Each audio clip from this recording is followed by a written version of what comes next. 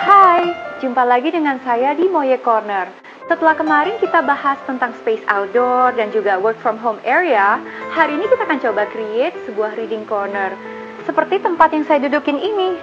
Really cozy dan pastinya nanti jadi spot favorit di rumah Anda. Mau tahu gimana cara proses makeovernya? Check this out.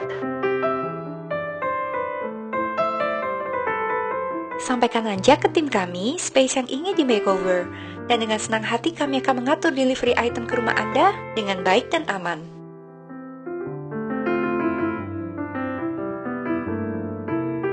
So, I hope you guys akan memiliki favorite spot seperti ini yang bisa dijadikan tempat me time atau mendapatkan inspirasi dan bersantai di rumah.